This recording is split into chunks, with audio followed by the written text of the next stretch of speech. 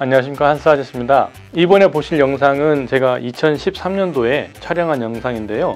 휴대폰으로 찍다 보니까 화질이 조금 떨어지거든요. 아, 사슴과 소나무라는 제목을 가진 부조 조각입니다.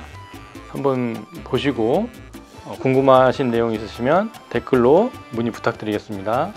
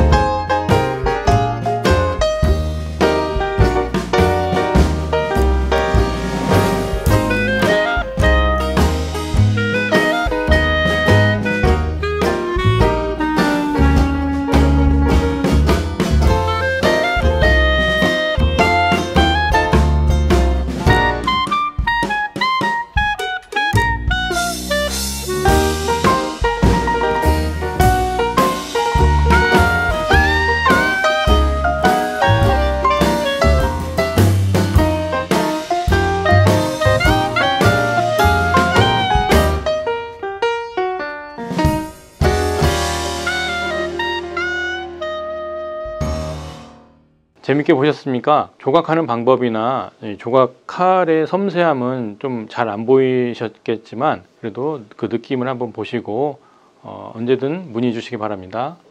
감사합니다.